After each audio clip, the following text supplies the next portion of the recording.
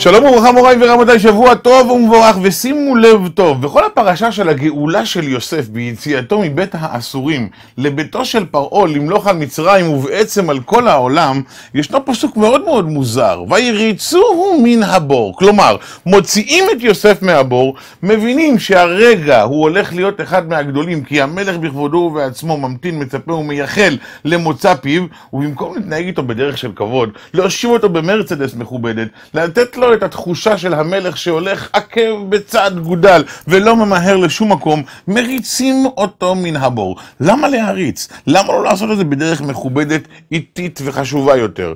התשובה היא חד משמעית. אומר האלוקים ליוסף, נגזרו עליך שנים של סבל, ובשנים הללו הייתי איתך ביחד.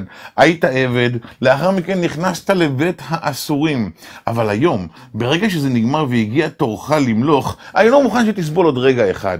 אפילו את הזמן בו אתה אמור לשהות מבור בית הכלא לארמון המלוכה, אני מבקש לעבור בזמן המהיר ביותר. ויריצוהו מן הבור. כל אחד מאיתנו עובר לפעמים תקופות קשות וקשות יותר. אומר לך אלוקים, אל תדאג, אין משהו שלא נספר ונמדד על ידי. אין משהו שנסתר מהשגחתי הפרטית. אני עוקב אחריך, אני איתך.